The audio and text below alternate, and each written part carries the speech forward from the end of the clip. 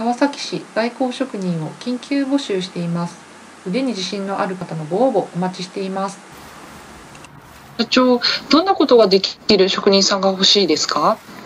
はい。あのうちの工事は一般の住宅の造園外交工事が中心ですので、えー、まあ造園工事も含めて外交工事の経験が10年以上ある職人さんが欲しいです。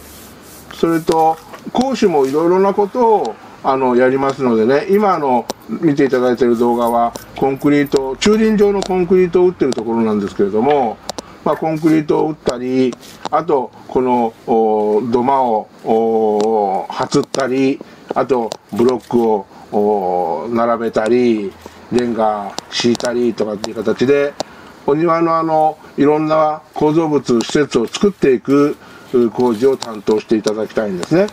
で、それもただ作ればいいっていう問題ではなくって、あのまあ、朝晩のこのご挨拶、ご近所の人たちにもこう感じのいい職人さんだなって、あの、まあ、奥さん、そのお宅の奥さんも、あの、感じいい職人さんだから、ちょっとこれ、あの、頼んでみようかしら、みたいな形で、声がかけやすいような、そういうあの、優しい感じの職人さんを望んでます。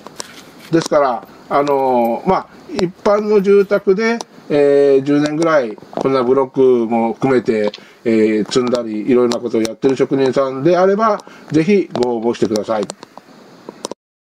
エコーキャリアが10年以上で何でもできる職人さん。腕に自信はあるけれど、営業が不得意な職人さん。独立したてでもっともっと仕事が取りたい職人さん。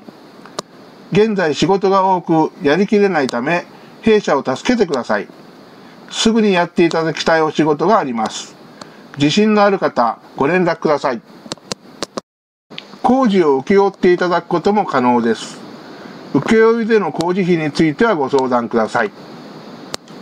D ダイヤル0120-041-301お電話お待ちしております。腕に自信がある造園職人さんは、左上の画像をクリックしてください。グリーンパトロールの増援施工内容がわかる動画が右下にありますので、クリックしてご覧ください。チャンネル登録は左下です。